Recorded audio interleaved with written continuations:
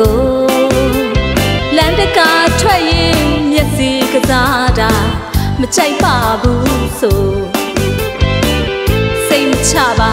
လူပြိုလို့လို့ပိုင်ရှင်ရှိတဲ့သိထားစမ်းပါအကို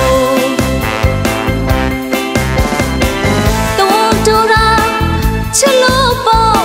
အသေးနုလွန်သူဆိုဆို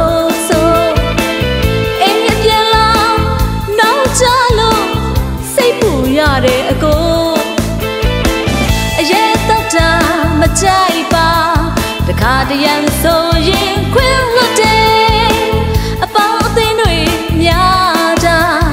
အိမ်မှာဆိုရင်စိတ်ချတယ်အစားအသောက်တွေအပြစ်မှမစားနဲ့အိမ်မှာစားပါအရန်အသင့်ရှိတယ်အပြင်ထွက်ရင်ဘယ်မှာလဲဖုန်းဆက်ရမယ်ကွယ်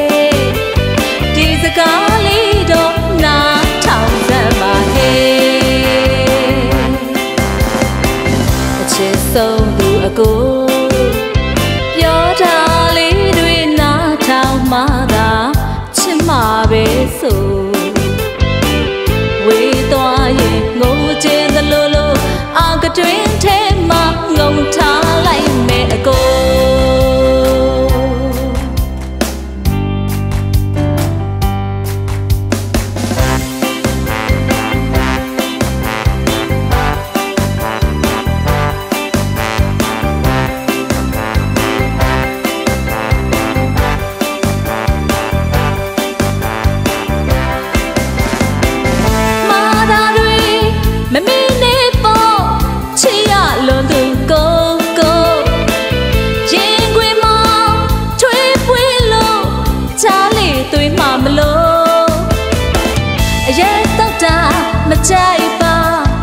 ခါတရံဆိုရင်ခွင့်လွတ်တယ်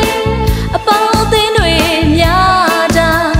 အိမ်မှာဆိုရင်စိတ်ချတယ်အစားအသောက်တွေအပြစ်မှမစားနဲ့အိမ်မှာစားပါအရန်အသင့်ရှိတယ်အပြင်ထွက်ရင်ဘယ်မှာလဲဖုန်းဆက်ရမယ်ကွယ်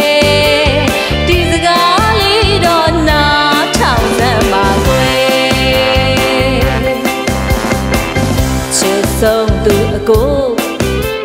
ပြောထားလေးတွင်နာထောင်မှသာချစ်မှာပဲဆို